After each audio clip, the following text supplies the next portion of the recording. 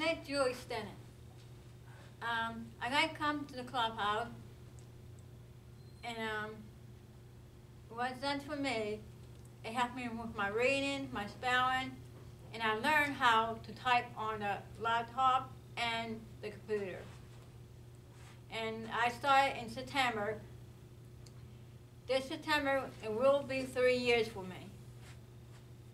And everyone's very nice here. And we just like one big happy family here.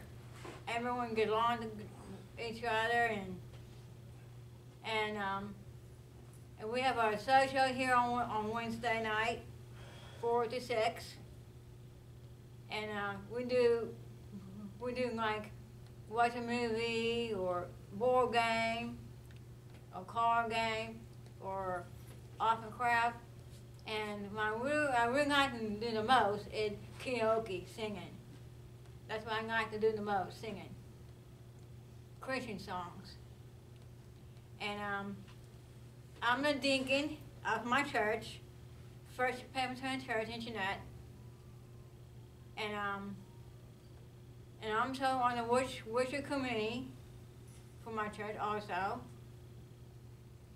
And and um, down at Second Street, First Presbyterian Church, I am ha, I help down there for um, Living Hope, the outreach down there.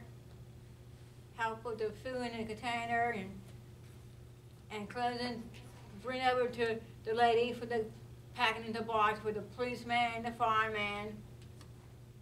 And we also do, um, they also deliver mail for um, Chinook Manor too. They do, like forty-eight meal for Chinook Manor. Then they also have, um, meal to go, when people come through the alley, give them a meal for the alley. Also have meal for the inside too, the inside. And I help clean the table off and, and, well, that's what I do for different churches, for, to, to the church I go to. I do.